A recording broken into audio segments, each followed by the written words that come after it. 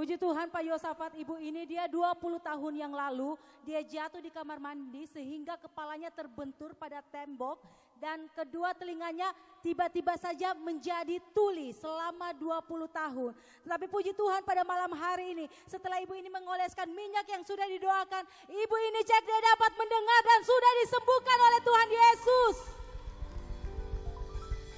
Ibu sudah dengar? Sekarang sudah bisa dengar. Iya, Terima kasih, Tuhan Yesus ya. Ya, atas Yesus yang